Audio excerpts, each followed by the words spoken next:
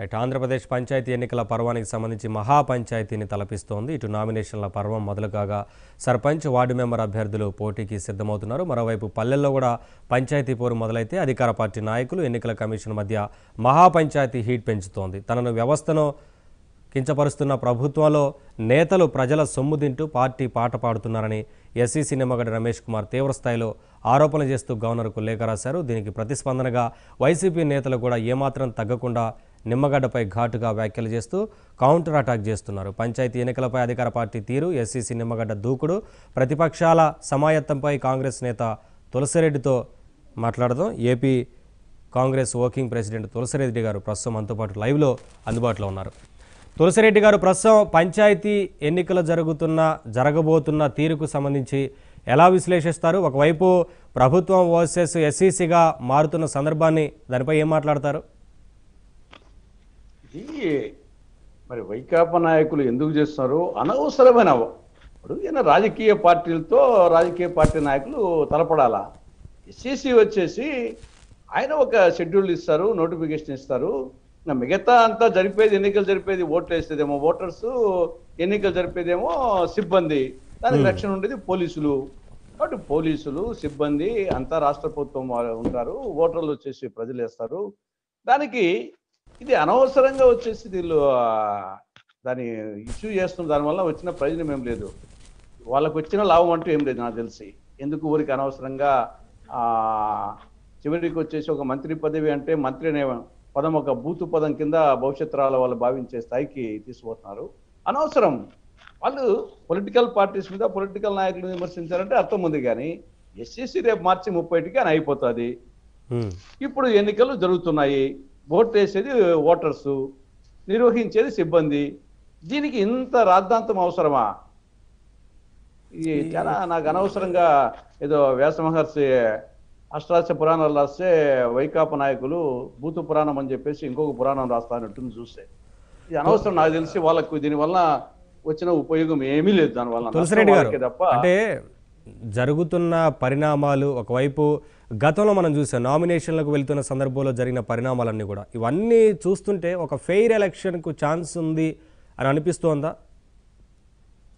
ఇప్పుడు గత ఏకగ్రీవాలనేటి గతంలో కూడా మనము ఉన్నాయి చూసాము. కానీ దానికి ఏదో పెద్ద ఒక అదే అజెండాగా పోయిన నేపథ్యం లేదు. గతంలో టీడీపీ హయాంలో కాంగ్రెస్ హయాంలో కూడా గ్రామ పంచాయతీ ఎన్నికలకు ఏకగ్రీవాలకు కొంత ప్రోత్సాహం ఉంది వాస్తవమే.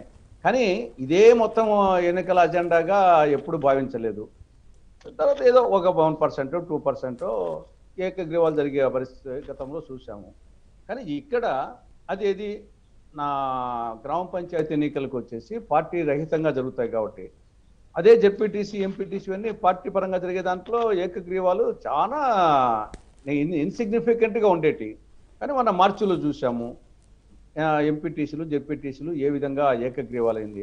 అంటే పొలిటికల్గా జరిగిన సింబల్ ఉండేదాన్నే ఆ స్థాయికి వచ్చినప్పుడు ఇంకా నాన్ పొలిటికల్గా ఉండే గ్రామ పంచాయతీకి డెఫినెట్గా వచ్చేసేసి ఇంకా ఏ స్థాయిలో ఉంటాయో దీంట్లో బెదిరింపులు కానీ దౌర్జన్యాలు కానీ ప్రలోభాలు కానీ ఇవి అట్లా కాకుండా ఒక మంచి వ్యక్తి ఉంటే వాళ్ళందరూ ఊర్లో వాళ్ళందరూ ఆ పంచాయతీ వాళ్ళందరూ చేసుకుంటే అది ఓకే. అది ఏమో ఎక్కడనో రేర్గా జరుగుతాయి. కొన్ని ఎమ్మెల్యేస్ కూడా గతంలో జరిగిన నేపథ్యం ఉంది. అటువంటి స్వాగతించవచ్చు కానీ ఇది ఇంకా ఒక అజెండా పెట్టుకొని మంత్రులకు టార్గెట్ పెట్టి మంత్రులు వచ్చేసి ఏ మంత్రి ఎక్కువ మీ జిల్లాలో మీకు ఇన్ఛార్జ్ జిల్లాలో ఏకగ్రీవాలు చేస్తే అది మీకు పనితీరుకు కొలబద్ద అని చెప్పేసి ముఖ్యమంత్రి చెప్పడం. ఈ ఓ విధంగా ప్రజాస్వామ్య స్ఫూర్తికి ఇది విఘాతం కానీ తులసిరెడ్డి గారు ఒత్తిళ్ళు పెరుగుతూ ఉంటాయి. మీరు అన్నట్లుగా ఈరోజు మంత్రులకు లేదంటే నియోజకవర్గ బాధ్యతలకు సంబంధించి ఎమ్మెల్యేలకు ఇచ్చి ఇంత మొత్తంలో మీరందరూ ఏకగ్రీవం చేయాలంటూ వారు ఇచ్చే టార్గెట్ కారణంగా కొంత ఒత్తిళ్ళు పెరిగి వేరే పార్టీల వారి మీద కేసుల వరకు వెళ్ళిపోయేటువంటి పరిస్థితి. అసలు ఎలక్షన్ అంటే కొంత రాజకీయ పార్టీలు ఇన్వాల్వ్ అయినప్పటికీ ఎక్కడ పార్టీల గుర్తులు కూడా ఉండవు కదా. అయినప్పటికీ ఒత్తిళ్ళు తట్టుకొని నామినేషన్లు వేసే పరిస్థితి ఉంటుందా? అదే డెఫినెట్గా మనం వచ్చేసేసి సరే గతానికి ఇప్పటికి కొంత ప్రజల్లో మార్పు వచ్చింది. తర్వాత రాజకీయ పార్టీలో మార్పు వచ్చింది. కొంత అధికారుల్లో కూడా గతానికంటే మార్పు వచ్చింది. గత మార్చి కంటే కొంత మార్పు వచ్చింది. అంతవరకు వాస్తవం. కానీ అయినప్పటికీ వచ్చేసి ఈ యొక్క ప్రలోభాలు బెదిరింపులు కేసులు ఇవన్నీ అధికార దుర్వినియోగము చేసినప్పుడు చాలామంది వచ్చేసి మనకెందుకు వచ్చిన గొడవలు అని చెప్పేసి భయపడే పరిస్థితి ఉంటుంది. డెఫినెట్గా ప్రజాస్వామ్య స్ఫూర్తికి విఘాతం అది. కాకపోతే ఏమంటే ప్రజలు గత మార్చికి ఇప్పటికి కొంత మార్పు వచ్చింది. ప్రజల్లో వచ్చేసి అప్పుడున్నటువంటి దానికి ఇప్పటికీ అది క్రేజ్ అనుకోవచ్చు భయం అనుకోవచ్చు. దాంట్లో కొంత ప్రజాస్వామ్యాన్ని రక్షించుకోవాలా అనేది కొంత ప్రజల్లోనూ రాజకీయ పార్టీలోనూ అధికారుల్లో కూడా కొంత మార్పు వచ్చింది కాబట్టి ఆ నేపథ్యంలో కొంత గతానికంటే ఆ యాంగిల్ బాగుంది. కానీ రెండో యాంగిల్ వచ్చేసి మంత్రులకు టార్గెట్ ఇవ్వడము ఈ యొక్క ఏకగ్రీవాలకు ప్రోత్సాహకాలు ఇవ్వడము. ఈ యాంగిల్ వచ్చేసి కొంత అది కూడా జరుగుతుంది కాబట్టి మరి చూడాలి. కానీ ఏదైనా ఇది ప్రజాస్వామ్య స్ఫూర్తికి మాత్రం విఘాతం. తులసిరెడ్డి గారు బాబు గ్రామ స్వరాజ్యం కాదు ఇది. నిజంగా వాళ్ళకు పంచాయతీలు బలోపేతం చేయాలంటే డెబ్బై మూడవ రాజ్యాంగ సవరణ ప్రకారము నిధులు విధులు అధికారాలు బదిలీ చేస్తే అది నిజంగా ఆ, గ్రామ పంచాయతీల బలోపేతానికి గ్రామ స్వరాజ్యానికి బాపు శాసించడానికి ఫలితం ఉంటుంది తప్ప ఈ విధంగా ప్రోత్సాహకాలు ప్రలోభాలు భయం బెదిరింపులు దౌర్జన్యాలు ఇవి చేసి ఏకగ్రీవాలు చేసినంత ఉన్న రేపు ఏం అకౌంటబిలిటీ ఉంటుంది? ఏం అకౌంటబిలిటీ ఉండదు. అంటే ఇప్పటి వరకు ఒక అంశం పార్టీలకు మాత్రమే ఈ కులాలు అంటగట్టిన రాజకీయ పార్టీలు కానీ నేతలు కానీ ఈరోజు అధికార పార్టీ నుంచి చాలామంది నేతలు అధికారులకు కూడా కులాలను అంటగట్టడం ఎలా చూడాలి? ఎటువైపు వెళ్తుంది అనుకోవచ్చు ఈ రాజకీయం ఈ సర్పంచ్ ఎన్నికల సందర్భంగా ఇవన్నీ బయటకు వస్తున్నాయి కదా? ఇది దీనికి అర్థం లేదు. దీనికి అర్థం పర్థం లేనటువంటి వ్యవహారము. ఎవరో ఏదో కులంలో పుడతారు. వచ్చేసి మళ్ళీ మళ్ళా ఏం ఆ కులంలో అయినా సరే మళ్ళీ నాలుగు నా ఇప్పుడు రెడ్లు ఉన్నారు. రెడ్లలో వచ్చేసేసి నలభై యాభై రకాలు ఉన్నాయి. కమ్మలో వచ్చేసి మళ్ళా పది పదిహేను రకాలు ఉన్నాయి. ఎస్సీస్లో ఎన్నో ఉన్నాయి. ఎస్టీస్లో ఉన్నాయి. బీసీస్లో నూట నలభై ఉన్నాయి. కాబట్టి ఏది కులము మళ్ళీ సబ్ కులము దానికి గోత్రము దానికి ఎడంపైట కుడిపైట ఏ ఇది వచ్చేసి పిచ్చి చేష్టాలు తప్పని వచ్చేసి కులము. వేమన ఎప్పుడో చెప్పాడు కులము గలవారు గోత్రంబు గలవారు విద్య చేత విర్రబీగువారు పసిడి కలుగువాని బానిస కొడుకులు విశ్వదాభిరామింద్ర వేమని. కులము లేనివాడు కలిమి చేయవలయును కలిమి లేని నాడు కులము దిగును.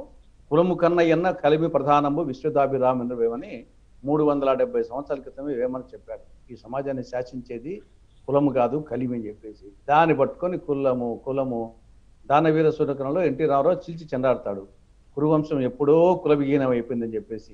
అంతకంటే బెస్ట్ ఎగ్జాంపుల్ కావాలనా? కానీ అధికారులను ఏదైతే ట్రాన్స్ఫర్ కానీ ఇతరత్ర చర్యలు తీసుకునే సందర్భంలో ఎస్సీసీ మీద కూడా ఈ రకమైన కౌంటర్ అటాక్ చేయడాన్ని ఎలా అర్థం చేసుకోవాలి అధికార పార్టీ? నేను అదే చెప్తున్నాను.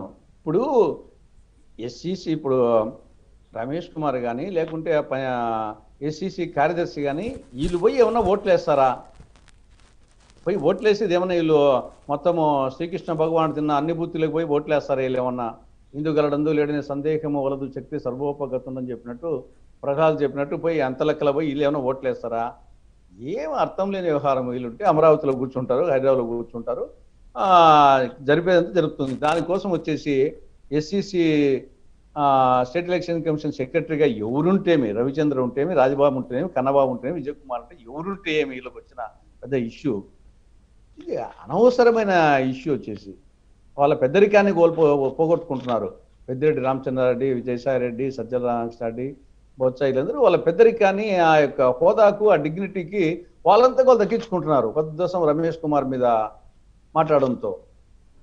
కానీ విజయసాయిరెడ్డి కామెంట్స్ మీరు వినే ఉంటారు. ఈరోజు చంద్రముఖిలా తయారైపోయారు నిమ్మగడ్డ తయారైపోయి ఆ తర్వాత చంద్రబాబు ఆహవి ఆవహించి వారు ఏం చెప్తే ఆ రకంగానే నడుస్తున్నటువంటి సిచ్యువేషన్ ఉంది. ముప్పై ఒకటో తారీఖు అయితే రిటైర్మెంట్తో వెళ్ళిపోయి ఆయన ఈలోగానే అన్ని ఎన్నికలు నిర్వహించాలని అనుకుంటున్నారో ఏమో ముందు ఎవరికి చెప్పకుండానే ఎన్నికలను వాయిదా వేసిన ఆయన ఈరోజు ఎందుకు ఇలా చేస్తున్నారంటూ చేసిన కామెంట్స్. నేను అదే చెప్పేది ఏం చేస్తాడు అని అంట. చంద్రబాబు భుజాల మీద తుపాకీ పెట్టాడు అనుకోండి నేను అదే ఈయన పోయి ఏమన్నా ఓట్లు వేస్తాడా? మొత్తం రాష్ట్రంలోని అన్ని పోలింగ్ స్టేషన్స్ పోయి ఏమన్నా ఈయన ఓట్లు వేస్తాడా? లేదా వచ్చేసి మొత్తం అన్ని బూతుల కాడ ఈయన వచ్చేసి సిబ్బంది ప్రిసైడింగ్ ఆఫీసర్స్ పోలింగ్ ఆఫీసర్స్ స్థాయిలో ఈయన కూర్చుంటాడా? ఈయన వాళ్ళ ఆత్మలు ఏమైనా ఆవహిస్తాడా? ఏమిటి దానికి అర్థం ఏమైనా ఉందా అంట వాళ్ళు చెప్పేదానికి? ముప్పై ఏడు తర్వాత ఇలాగూ ఉండడు. ముప్పై ఏడు లోపల ఏం చేస్తాడు ఆయన? ఎన్నికల షెడ్యూల్ నోటిఫికేషన్ ఇస్తాడు. అంతే కదా? మిగతాది ఏం కాదు కదా? మిగతా అంతా జరగాల్సిందంతా కింది లెవెల్లోనే కదా? మనం వచ్చేసి మీరు రమ్మని చెప్పారు వీడియో కాన్ఫరెన్స్కు ఎవరు వచ్చారు? మిమ్మల్ని కాదని ఏమన్నా చీఫ్ సెక్రటరీ వచ్చాడా? డీజీపీ వచ్చాడా? పంచాయతీ ప్రిన్సిపల్ సెక్రటరీ వచ్చాడా? కమిషనర్ వచ్చాడా? ఎవరు వచ్చారు? ఎవరు కలెక్టర్స్ ఎవరు రాలే కదా? మరి వచ్చేసి ఇంక ఏం చేస్తాడు ఆయన వచ్చేసి? ఒక ఎన్నికలు నిర్వహిస్తాడు. అంతే కదా?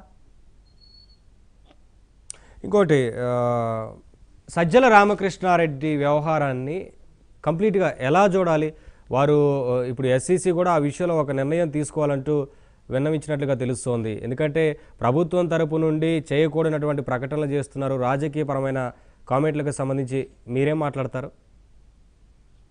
సరే మరి గవర్నర్ గారికి ఆయన రాశారు. మరి గవర్నర్ గారు ఏం డెసిషన్ తీసుకుంటారో చూద్దాం. ఎందుకంటే సజ్జల రామకృష్ణారెడ్డి వారు ప్రభుత్వ సలహాదారా లేదంటే ఈరోజు రాజకీయ సలహాదారుగా మారిపోయారా అన్న ఒక కామెంట్ వినిపిస్తోంది కదా పెద్ద ఎత్తున. ఇప్పుడు ఈ ప్రభుత్వంలో సలహాదారు అంటే ఏమి? సలహాలు ఇవ్వాలి. సలహాదారు పని వాడు మారుస్తే బాగుంటుంది. ఆ విధంగా ఒకవేళ సజ్జల రామకృష్ణారెడ్డి గారి సేవలను ముఖ్యమంత్రి గారు వేరే విధంగా ఈ విధంగా ఉపయోగించుకోవాలంటే ఆయన వచ్చేసి ఒక మంత్రి చేసి సరిపోలే హోమ్ మినిస్టర్ లేకుంటే డిప్యూటీ చీఫ్ మినిస్టర్ ఒకటి చేస్తే సరిపోతుంది. దానికి సలహాదారు అని పేరు పెట్టుకొని ఇవన్నీ చేయడం ఎందుకు?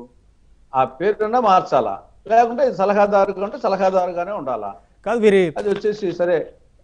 వీరి డ్యూటీకి ఒక అకౌంటబిలిటీ ఉండదా? వీరి డ్యూటీకి ఒక అకౌంటబిలిటీ ఉండదా? వీరు ఏం చేశారనే అంశాలపైన ఒక రిపోర్టు ఇవ్వాల్సి ఉండదా? పూర్తి స్థాయిలో ఎన్ని సలహాలు ఇచ్చారు? ప్రభుత్వానికి ఎంత మేరకు ఉపయోగపడ్డారు? కేవలం రాజకీయ కామెంట్స్తోనే సరిపెడుతూ శాలరీలు తీసుకుంటారా అనేది? ప్రభుత్వ సొమ్మే కదా. ఒకటే అనేక మంది సలహాదారులు ఉన్నారు. వచ్చేసి మంత్రుల కంటే సలహాదారుల సంఖ్య ఎక్కువైపోయింది. అదే కదా. కాబట్టి కొందరు సలహాదారులు వచ్చేసి వాళ్ళు నియమించిన తర్వాత ఇంతవరకు ముఖ్యమంత్రిని ఉడిక ఒకసారి కూడా కలుసుకొని సలహాదారులు కొందరు ఉండొచ్చు. కాబట్టి ఆ ఆయన సజ్జల రామకృష్ణారెడ్డి గారి సేవలు వచ్చేసేసి ఉపయోగించుకోవాలనుకుంటే వేరే విధంగా వచ్చేసి ఉపయోగించుకోవచ్చు. ఆయనకు వేరే పదవి ఇచ్చేసి అంతే తప్పనిచ్చేసి ఆ హోదాలో పెట్టి సలహాదారుని హోదాలో పెట్టి ఈ విధంగా రోజు ఆయన ఇవ్వడం అనేది కరెక్ట్ కాదనిపిస్తుంది. దానికి నువ్వు పార్టీ పరంగానా ఈ పదవి? లేదా ప్రభుత్వ పరంగా వచ్చేసి డైరెక్ట్గా ఇచ్చేసేసి ప్రభుత్వ పదవి కానీ పార్టీ పదవి కానీ పార్టీ అధికార ప్రతినిధిగా పెట్టు చీఫ్ చీఫ్ స్పోక్స్ పర్సన్ అని చెప్పేసి పార్టీ పరంగా పెట్టు. సరిపోతుంది. కాబట్టి అడ్వైజర్ అనే పదం పెట్టి ఆ విధంగా చేయడం కరెక్ట్ కాదేమో అనిపిస్తుంది. ఇటు ఎస్సీసీ లేదంటే అటు ప్రతిపక్ష పార్టీ మాట్లాడుతూ ఉంటే మేము నోరు మూసుకొని కూర్చోవాలా? మేము మాట్లాడొద్దా అంటూ సజ్జల రామకృష్ణారెడ్డి చేసిన కామెంట్లు. ప్రజల సొమ్ము తీసుకొని ప్రభుత్వానికి. సలహాలు సంబంధించి వారు ఏం చేశారని అసలు అకౌంటబిలిటీ లేదు. అందుకే ఆయనకు వచ్చేసి Vaikapa chief spokesperson spokesperson person పదవి ఇవ్వండి పార్టీ పరంగా. లేదు ప్రభుత్వ పరంగా వచ్చేసేసి మొత్తం ప్రెస్ రిలేషన్స్ అని చెప్పేసి దానికి ఏదో పెట్టేసేసి ఒక పోర్ట్ఫోలియో చేసి ఒక మంత్రి పదవి ఇచ్చేసేయండి అడ్వైజర్ అనే పేరు పెట్టి అడ్వైజర్ అంటేనే సలహాదారుడు. అది ప్రభుత్వానికి సలహాలు ఇవ్వడమే అంతవరకే దానికి మనము అర్థం అన్నమాట. కాబట్టి ఆయన సేవలు ఉపయోగించుకోవాలంటే వేరే విధంగా ఆయనకు పదవి మా పేరు మార్చేసేసేయండి ఈ విధంగా పెట్టి పెట్టడం అనేది కరెక్ట్ కాదు. రైట్ థ్యాంక్ యూ తులసిరెడ్డి గారు. లైవ్లోకి అందుబాటులో